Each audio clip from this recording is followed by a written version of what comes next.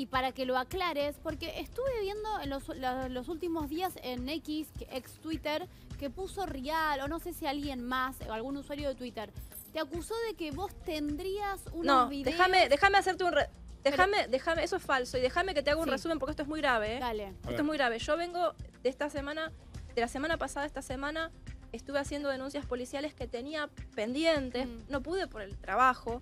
Yo tengo un acosador desde hace varios años, siete denuncias. La última tenía una imputación porque habíamos logrado ubicarlo. Por alguna razón el caso se cerró, yo no lo sabía. Eh, empezó a contactarme de nuevo mientras yo estaba en el Congreso. Fui a la policía.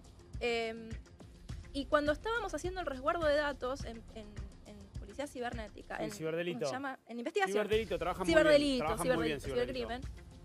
Muy bien, sí, exactamente. Un saludo a Juli. Mm. Eh, trabajaba muy bien.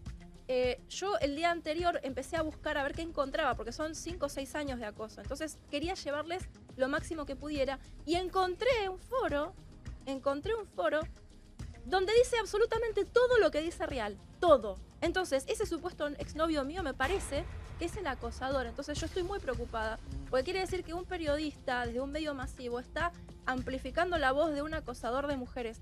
Pero Esto- para, para, para no- desmentir entonces, porque está bueno, se te está acusando No. de algo que es horrible, que no tenés por qué bancarte si es mentira. No, no tengo ni- No, la verdad es que es. No, ya le mandé una carta de documento. Eso, eso, eso no, no quiero que sea mediático porque ya la verdad tiene que seguir por vía legal porque lo demás es, es un escandalete Bueno, mediático. te pregunto otra cosa que es una locura.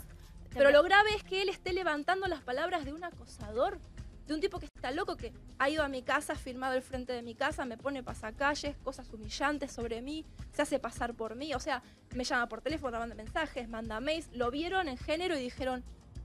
Y justamente un periodista de un medio opositor va y dedica días enteros de la semana a publicar lo que el acosador publica sobre mí. Es, es algo que yo, Mm. sinceramente, no. Y Claro. yo no pens- podría haber pensado distinto si no fuera que el foro es de principio de año y que si lo quieren ir a borrar ahora, lo siento mucho, está resguardado en cibercrimen.